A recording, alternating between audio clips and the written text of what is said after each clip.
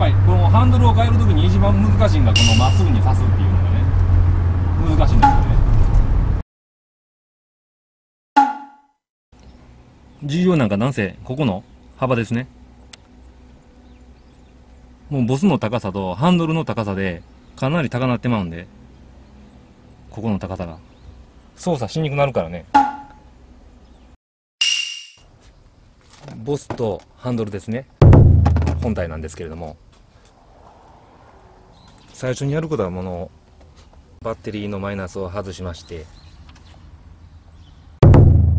ハンドルはですねこの両脇にあるこのネジあるんですけれども見えますかね？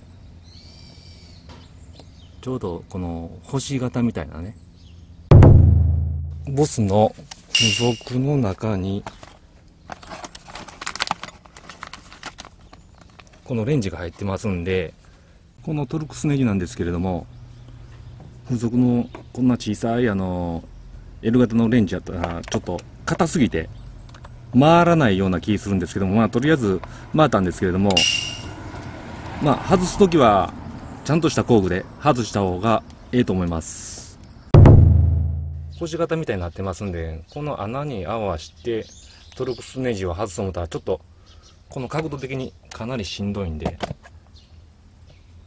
角度がねうんほんであの回す幅がかなり小さくなってしまうんで。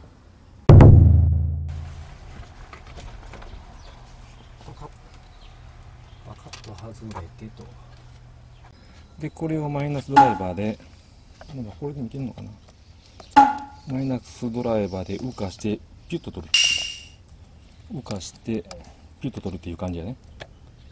でこれが多分ホーンですね。ホーンのプラス。でこれはあの付属のやつにあの延長のコードが入ってましたんでエアバッグのあの線ですね。取りましたんでハンドルをちょっと今からあの抜いていきたいと思うんですけどもこれ 17mm ね。17mm のあのナットでしまってるんでこれでちょっと取っていきたいと思います。ここは。回るの簡単やね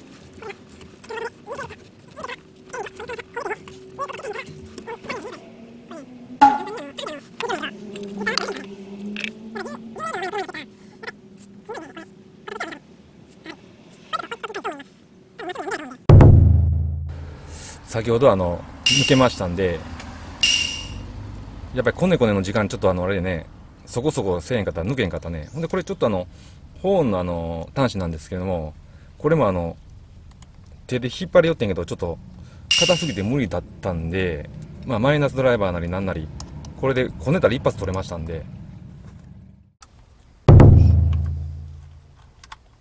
こうですね。この OS245 のボスですね。これがネジですね。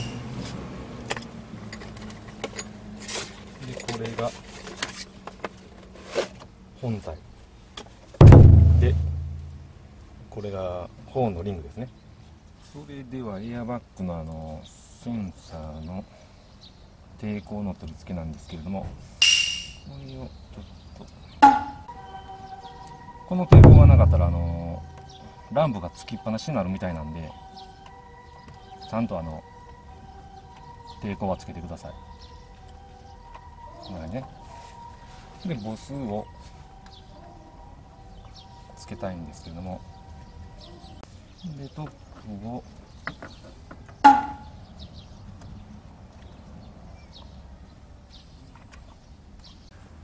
多分これセンターになってるってとは思うねんけどな。とりあえずこれで一回試したいと思います。4のリングにアースをつけましてこんな感じね。これでちょっとあのマイナスを取りましたんでこれでですねホーンボタンとりあえずプラスマイナスつけてちょっとあのエアバッグのあのランプとホーンのチェックしていきたいと思います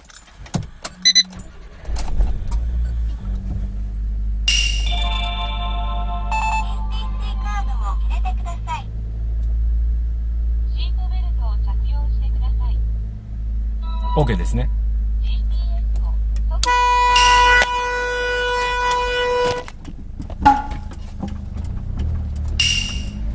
最後にですねあのこのハンドル位置なんですけれども